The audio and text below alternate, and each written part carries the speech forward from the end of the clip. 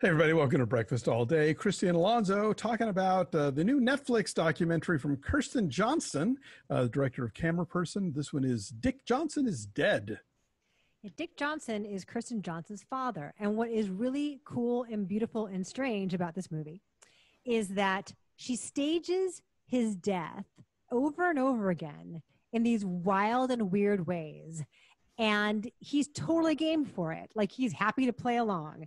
And he's in his mid 80s at this point. He is a longtime psychiatrist who is on the verge of retiring. Um, he is beginning to feel the effects of dementia creeping up on him. And so he, he packs up his practice and moves in with her and her family um, in New York. He'd been in Seattle.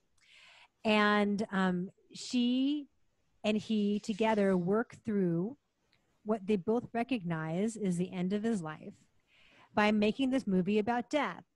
And rather than fear it, to explore it and to play with it and maybe have fun with it. And so the I, I, love his attitude. He's totally inquisitive and like upbeat and up for anything. She's asking for crazy shit, and they like they stage it. I mean, some of it's like just a random on the sidewalk thing with a small little bitty crew, but some of it's like a giant set with like extras and costumes. Oh yeah, heaven. yeah, and it's um, it's a really tough tone that she pulls off, right? Because this could have been icky, sicky, maudlin. It's not. Nor is it tone deaf. It never clangs. Like she just finds that total perfect sweet spot.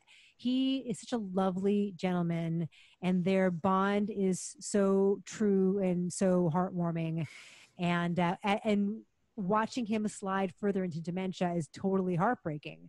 Yeah. And we see him taking the test the same cognitive. That, yeah, that Trump has been bragging that he aced, where he said he could remember the words person, woman, man, camera, TV over and mm. over hmm. again. You see him having to repeat those words back to the doctor administering the test, and you know, see that he's not doing so well, and it's re- and to see him get scared is so heartbreaking and so it's really it's really lovely and sad and very honest yeah it's it, it you're right it does kind of balance these weird tones and and you know, part of it is Johnson daughter, Kirsten Johnson, is constantly having to sort of remind the audience he's on board with this. You know, like we see the times where he like like they they do this one thing out on the sidewalk and he's got this like blood packet and it's really cold and it's uncomfortable and, and she's like okay fine uh, we'll pull the plug and they stop you know but then like she'll take an, an incident where they were, they go out for Halloween and they they they park him in a friend's living room so she can go out with the kids and he forgets where he is and he gets really frightened and he doesn't think she's going to come back. And so then they sort of recreate that in a in a stylized way. But like you always see her talking to him and making sure that he understands what, what this is about and how we're, we're, we're calling back to this remember that time when this thing happened? And um, yeah, you know, it, it, it it's this death is such a taboo subject to this day. Um, you know, the one thing that we all have in common, the one thing we're all going to go through at some point.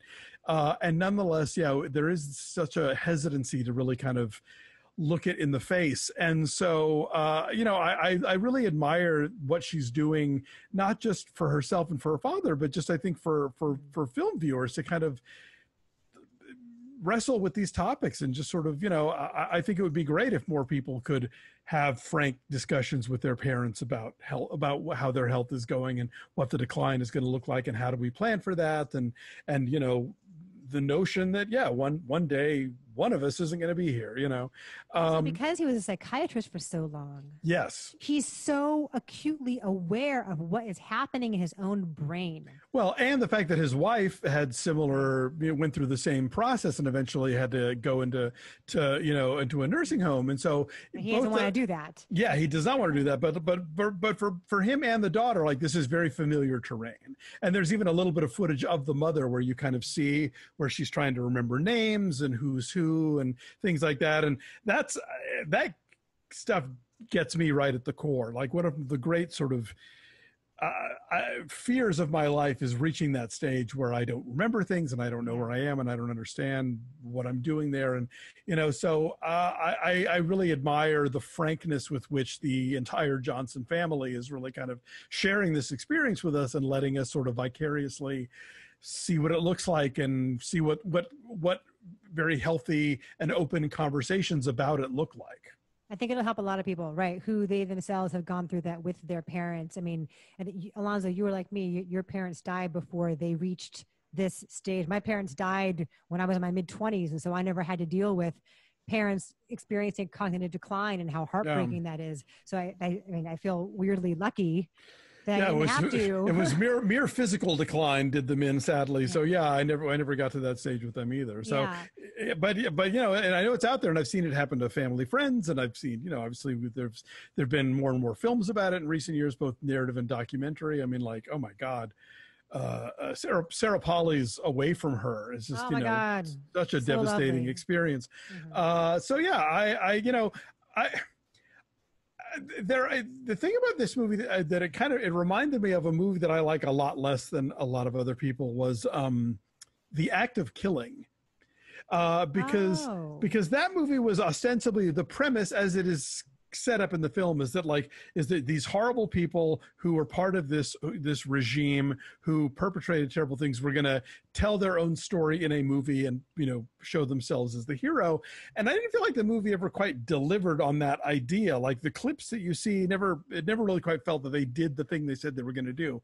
Whereas this i think she very much like kind of walked you through we've got these stuntmen and here they are learning to walk like my dad so they yeah. can substitute for him. You know we have you know uh, uh, you know we the, he gets in a coffin at one point and like in the church where his funeral is going to be and his best friend is there. And it's, it's like it, this is a movie that like it's constantly pulling the rug out from under you, even though it's telling you that it's gonna be pulling the rug out from under you by doing it. So eh, I, I like, I, I really admire what's going on here. Also, we just talked about the Glorias a minute ago and how the flights of fancy seemed really at odds with the realism of the story and the emotions yeah. that she was trying to tell. Here, Kirsten Johnson finds like just the right balance right? Totally. It's Absolutely. so rooted in day in, day out mundane living. Yeah. It's that you could like reach out and touch it. You know it so well. But then like crazy stuff is happening with slow motion and g- confetti and flying and um, and it's playful in the right ways.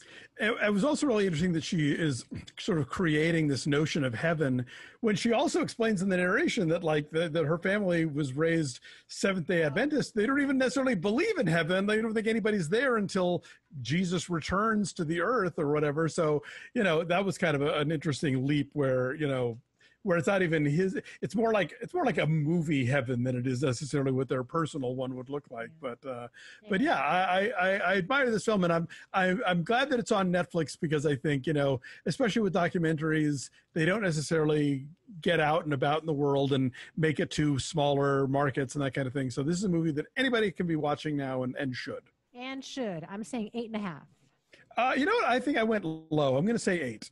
Okay. So so we're an 8.3. Yes. Uh, so yes, Dick Johnson is dead. Currently streaming on Netflix. Thank you for watching. Like this video. Subscribe to our YouTube channel.